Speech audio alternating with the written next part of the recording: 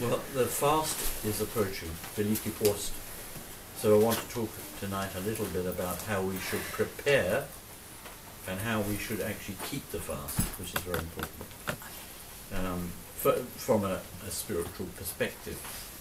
Um, what I have to say comes from the Holy Fathers. In fact, everything that I talk about is what I've read from saints, lives of saints, sayings of the Fathers, maybe some modern, but generally uh, I read only patristic, in other words, of the Fathers, because um, I, I can't make up anything, I don't know anything. But, so I'm passing on what I learned to you, because that's, that's how it works. Obviously, I have an interpretation on it because it's the way I, I see it and the way I read it, of course. But anyway, it's important. Now, the fathers say that the, the early Israelites, once a year, they gave a tenth of their possessions to God. They call it a tithe in English. It means a tenth, a tenth of all their possession once a year. The holy apostles um, improved on this, and what they did, they they set aside days in which we tithe ourselves through fasting. So this is where the fasting comes from. And I've got some statistics here, which I have to look at my paper. Um, so we tithe every day of our life. Um, there are 365 days in a year. Do you agree? Mm-hmm. You, so Sasha? 365? Yes, okay. Uh, seven weeks, um, which are set aside for fasting. Okay, this is if you listen very carefully. And then, then the, the fathers decided to add. This is what the apostles decided. Right, seven weeks of fasting, and then one week was added by the fathers as a form of training to get us ready for fasting to prepare us to be able to fast. So we have a week of fasting before we start fasting. So it makes eight weeks. And of course that's the eight weeks of the uh, Veliki Post. The Great Fast is eight weeks. Seven, we stop, we have Palm Sunday, entry into Jerusalem, and then we start Holy Week. Yeah, so that's another fast. Um, now the eight weeks do not include Saturdays and Sundays. We do not fast on Saturday and Sunday. And some of you may say, well, we do because we're not allowed to eat meat and cheese and things like that on Saturday and Sunday during Lent. But we're allowed to have wine and oil, so that is, you know, a luxury that we're, we're given. Depends on how you eat, I suppose, what you regard as um, being a luxury. But if you add those up, it, it equals 40 days. That's eight weeks without Saturdays and Sundays gives you 40 days. Now 40 days is our Lord in the desert. The Pustinia went into the desert and fasted for 40 days and were tempted. So that's, that's that um, commemorates that. With the exception, Holy Saturday is a fast because it's a very special day. And so that day is a fast. Otherwise, Saturdays are not fasting. Um, during the week, uh, we make pakloni, yeah, prostrations, but on the weekend we do not because we're not fasting. So we don't do it. Okay. Now, there's two kinds. Um, well, let's think of the fasting. Of course, the first part of fasting is, of course, um, abstaining from food, not to eat certain foods. No eggs, no meat, no dairy. And so that is fasting, but um, it's a bit deeper than that because we should avoid pleasure in eating. We should not take pleasure in eating during the fast.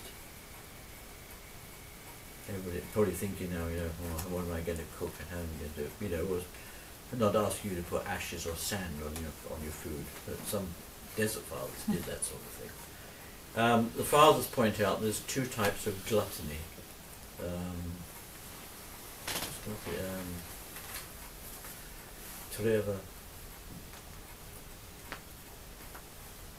What is it? Um, Eating the I've bugs. forgotten the Ru- Russian word for it. Чревоугодие? Yeah, Trevor. Yes, So- Trevor. Thank you. Yeah. There's two types of one, and I hadn't considered this myself before, I was reading this, I think there's pleasure in eating is a form of gluttony during the fast. I might say is it in general, I think it's in general, but for the, we're talking about the fast, right? The other one is to eat until you're full, quantity. So both are passions which we have to struggle with. Now, this is what we have to struggle with during the fast, is, is to avoid eating things that, that give us pleasure. But we have to do it um, intelligently. There has to be a balance somewhere. Um, and we should not eat uh, to fill up. And sometimes I think we might do that because we panic. We say, well, how can I get through the, you know, the week if I don't eat enough? But we're not camels. You know about camels? Then they, they can go through the desert without water. Of course, the mythology, as a kid, I, I thought they fill their, their humps, these things with water, but they don't, of course, it, there's not in, in reality. But, you know, in other words, we must not be afraid not to eat enough. We have to eat enough to live, and we must be sensible. If you're ill, you're not to apply a strict fast. You mustn't do that. Or you have a job which demand, is demanding. In other words, you have to decide. The ideal would be not to eat at all, but we can't do that. Okay? if we could, we wouldn't be here. And I don't mean dead. I mean in, in we've been on the holy mountain or somewhere where people can live like Saint John, Shanghaisky. He lived on prosopagite. How? Eight weeks prosopagite if you look at it medically, it's impossible because there's not enough nutrition. Mind you, he was always tired and mal malnourished. He was not well, but that's his podvig, okay, his you know his cross crest. So we have to think in, in those terms. But the fathers also say that really time of great Lent is fasting with the tongue. To me, that's much harder than fasting from food. Пустой разговор. Yeah? How painful it is to be quiet, to be silent. It, it is. I don't admit it, don't pretend it isn't. It is. It's difficult. We want to talk, we want to ask questions, we want, you know, we like to gossip. It's, we shouldn't, but this is a part of it. The other way is fasting with the eyes. Now, me, this is far more difficult because we're living in the age of the internet. And we're on the, the brink of maybe World War III at the moment and we know what Elder Paisius said about you know Turkey and things like that. So every day we're looking to see, you know, can we not do that during the Great Fast? Can we not look at the news until the weekend? These sort of things. It's to do. It's it's to do with the spirit of fasting.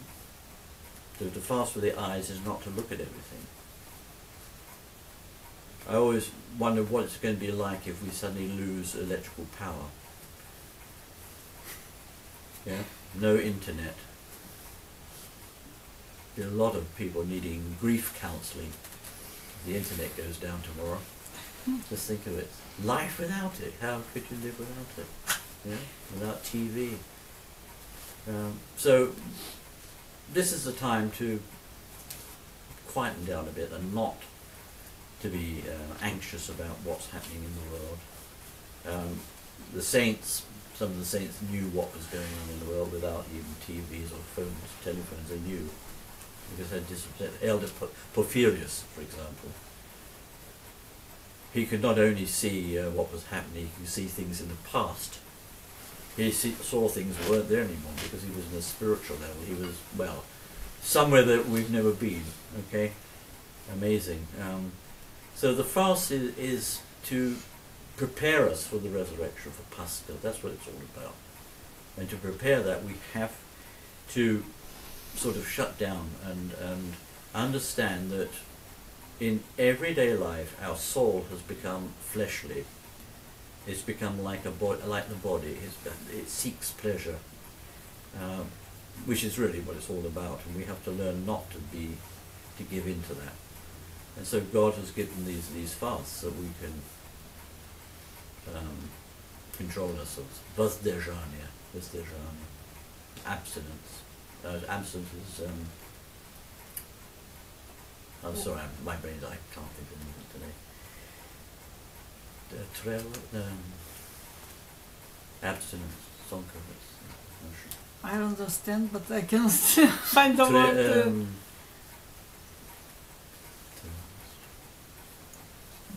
do you understand what I'm saying about abstinence? You know what abstinence is?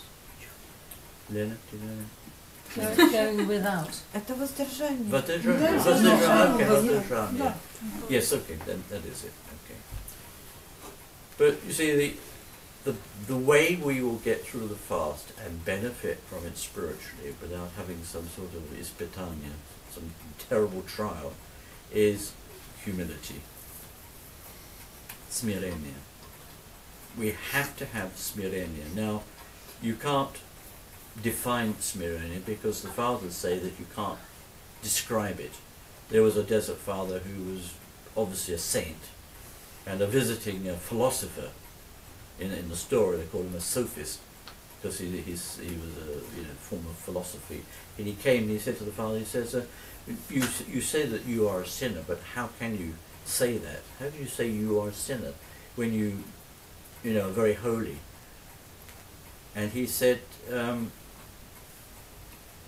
it's because one has to be humble. This is humility. He said, well, what is humility? And the elder was silent. He said, I don't know how to answer. I can't tell you. And there was somebody else there, another father, actually, our friend Abbot Dorotheus, because he wrote this story.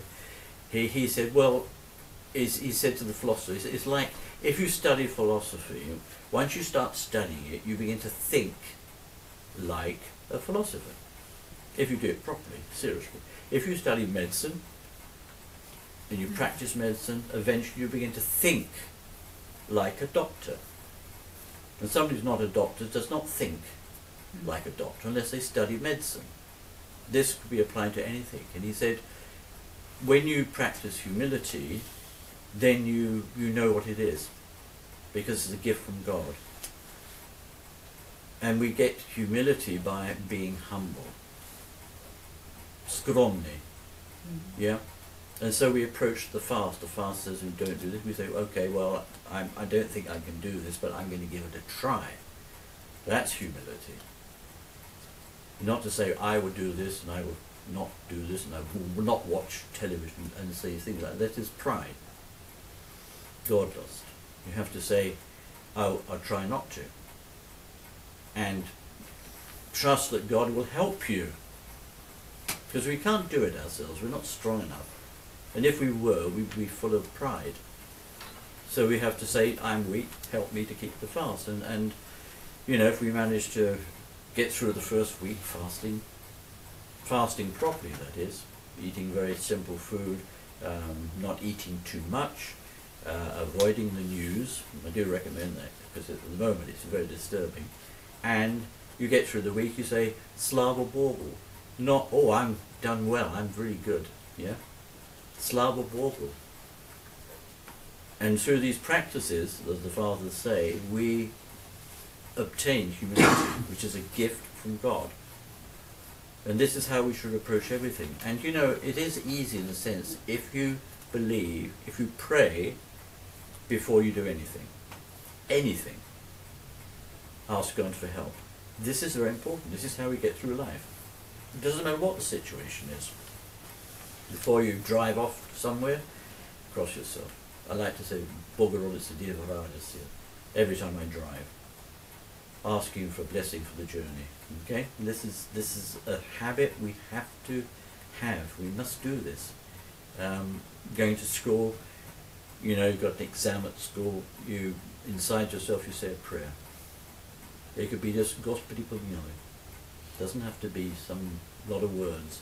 So everything we do, we, we ask God's help and we begin we begin to see you see begin to see how God works it for us individually in our lives. And that teaches us humility. Well, teaches us we become humble and we receive the gift of smirenia, humility. We have to trust God in everything we do. I just want to check that I had, I think I had a, yeah. The fathers say how great is the power of humility it's extremely powerful. And there is um, a psalm. Psalm. It says, "See my humility and my toil, and take away all my sins." That's a nice prayer to be able to say it, if we, if we can say it. See my humility. Yeah, that's, something we need to aim towards. St. Anthony had a vision, St. Anthony Veliki, you know, of the desert. He had a vision of uh, the desert, and there were all sorts of sins. There were snares, um, tears, which are. Uh, I I'm sorry, but my, my mind's not working tonight. Um, Pripyatstva, okay, obstacle everywhere. And he said, well, like a minefield, Mina, yeah, like a Mhm. minefield. Wherever you step, you're going to step on something. He said, well, Mm. how can you um, survive, you know?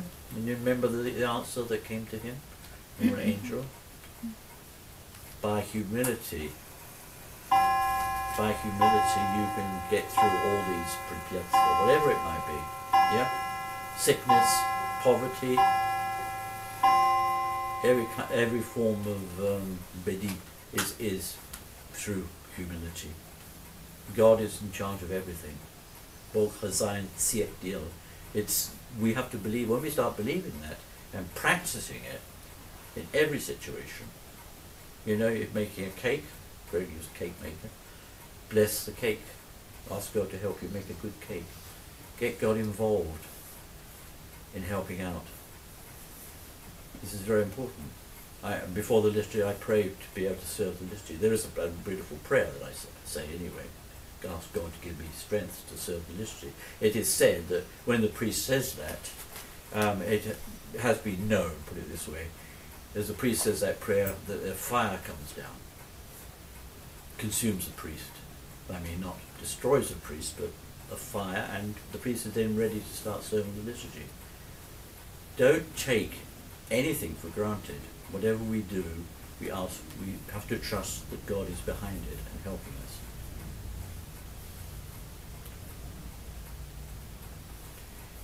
And I think the hardest part of uh, being humble is to actually to believe that everybody is, is that we are below everybody else around us.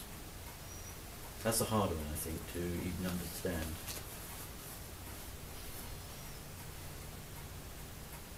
I don't, I don't understand it.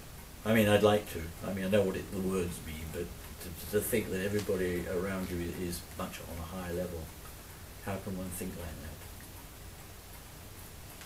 that? I think you can only do it by practicing it, and then somehow it, it works. It says that when, when um, the closer we get to God, the more we see our sins. The closer we get to God, the more we see our sins. And there's a quote when Abraham saw God, he said, I am dust and ashes. When he saw the glory of God, he, you know, I'm in nothing, having seen God. That's humility. Anyway, no one can explain humility. Only you can only learn it by experience, not by verbal teaching. So we need to pray to God about everything, and we need to uh, ask God, have no um, illusions about whether we are going to get through the fast successfully. We know what to do, but we need to ask God to help us to do it, uh, and not do it out of pride. And I think this is going to be a very big challenge this fast because of the, the situation in the world. Um, and so we need to keep this fast and we need to pray and we must, must believe in the power of prayer. This is very important. So your prayers and your fasting is, is giving, not only giving you strength spiritually, but actually affecting those around us and the world. So this is very important. Are there any, any questions? Father, you say about the the the the pleasure during the fast, during the the eight eight weeks fast, Yes. right? But this is forty days, not Saturday and Sunday, or because Saturday and Sunday we're not real fast. Yeah, that's right. Yes. That, means forty days uh, during the week, only during yes. the week. Yes, Yes. Yes.